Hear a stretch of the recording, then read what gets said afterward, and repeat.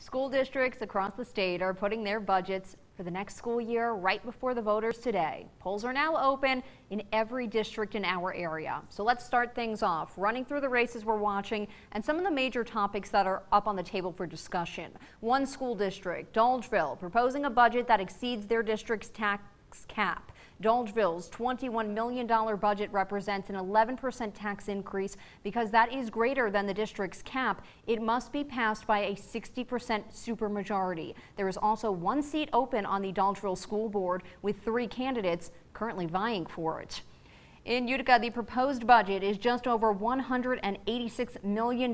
There is no tax increase with that plan, and there are four candidates seeking the lone available seat for Utica City School Board. Central Valley has a budget of just under $52 million. The tax increase is under 2%. Three candidates are going for two open seats, while over in Clinton, their budget plan is just over $29 million, and that carries a 2.24% tax increase. Over in Cooperstown, residents are voting on a nearly $20 million budget. The tax increase, which is just below 3%, it is within the district's tax cap.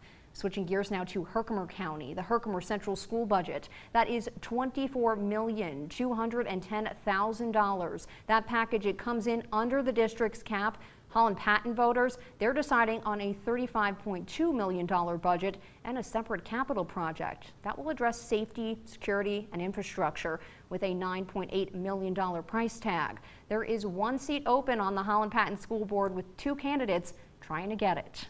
Milford voters face a modest $4.1 million budget with just a 1.5% tax increase, but there are six candidates vying for just three open seats on their Board of Ed.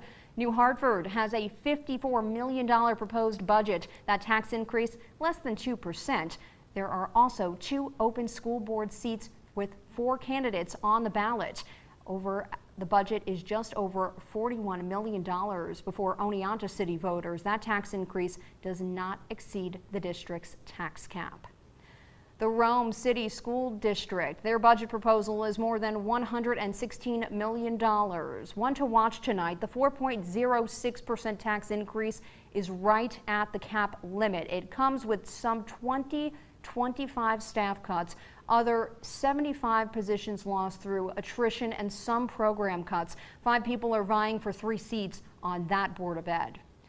Now, we told you about the money issues facing the Schenevus School District. Their budget up for a vote, just over 9 million. The tax increase at their cap maximum, 4.87%. The budget proposed does not resolve the district's long-term problems. Four candidates are in the running for one seat open on that board. Whitesboro's budget is just over 70 million. The tax increase in Whitesboro would be under 2%. There is a $100,000 capital project being talked about. Three people seeking two open board seats.